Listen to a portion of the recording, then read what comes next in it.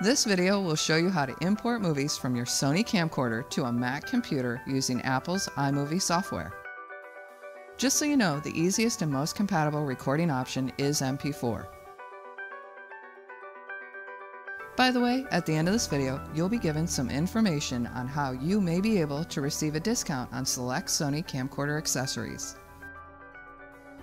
Before we get started, you will need a Macintosh computer with iMovie installed your Sony camcorder, and the supplied USB cable. Each camcorder is slightly different, so be sure to check the owner's manual or visit us at esupport.sony.com for your specific features and menu options. Make sure your computer and camcorder are turned on and connect the camcorder to the computer directly using the USB cable.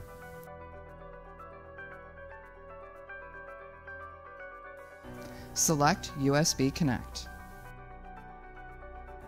You will see mass storage connected. iPhoto may automatically open.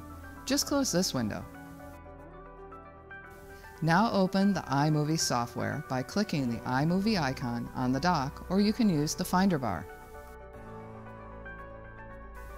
Once iMovie opens, select File, and then import from camcorder. Your videos will now be displayed. You can choose the Import All button on the lower right to import all of your videos, or select Manual from the lower left and choose individual videos.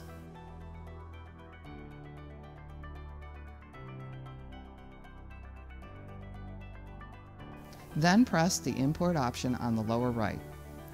In the Save To window, choose where you want to save your video.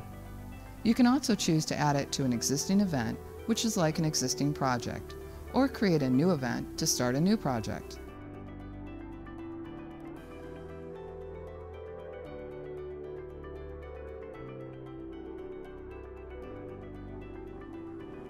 In the Import Complete window, click OK, and then Done. Your videos will now be displayed in the lower right portion of the window.